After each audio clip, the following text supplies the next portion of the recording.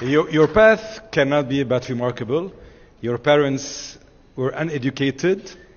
Your father was a truck driver, and your mom sold tea by the roadside. Yes. And the two had moved to Kenya to start a new life together.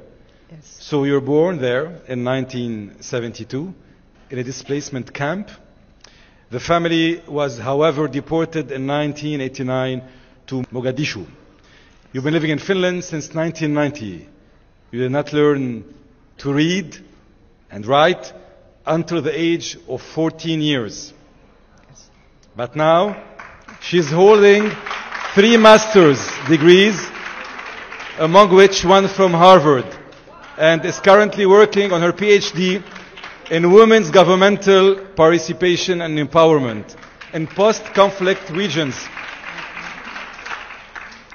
What a life. How proud are you of this path?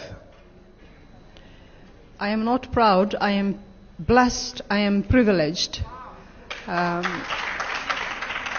there's a, there's a, a difference, and uh,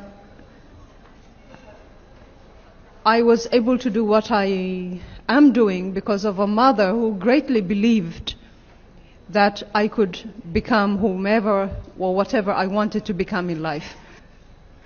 Not proud, blessed, and, you know, happy to be where I am today.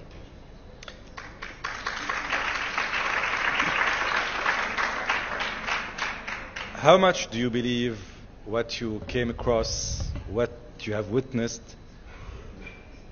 has nurtured this willpower within you? Everything that I've had to go through in life, and my life has been a very hard one. I did not come from a rich family. I did not come from a privileged family. I did not come from an established family. I came from a very poor, disadvantaged family. I have faced hunger. I have faced physical violence. I still have the scars on my body. I have faced deprivation, all kinds of things that are unthinkable.